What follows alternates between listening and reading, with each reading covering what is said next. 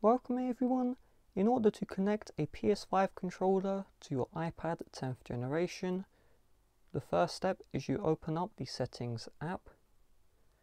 You are then going to tap on the Bluetooth option right here and you just want to make sure Bluetooth is turned on.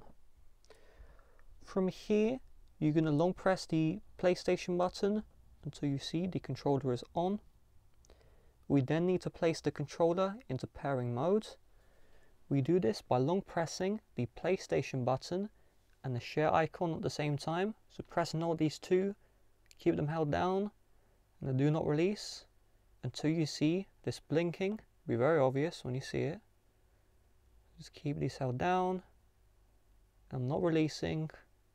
And now when you see this blue blinking here, very rapid blinking, we're going to check other devices and we should see the controller show up. If it's not showing up, we'll go into Wi-Fi, back into Bluetooth, and now we go under other devices, the controller is showing up. So let's tap on the controller, and we are now connected. So when you are connected, you can see you can control the operating system. You see I'm using the D-pad. If I click on the X button, I'm opening up apps and that only really works with the home screen.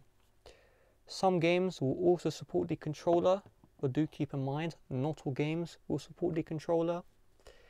If you have connection issues, all we need to do is turn off the iPad, turn it back on, repeat the pairing process, and then everything should work without any issues. If you'd like to help support the channel, you shop on Amazon. If you use my Amazon affiliate link, before you purchase any product I'll get a commission which Amazon usually takes. So if you use Amazon every time you click to my affiliate link you'd help me out massively. There's also a one-time donation with super thanks. And if you want you can become a member of the channel which is a monthly subscription which also helps me out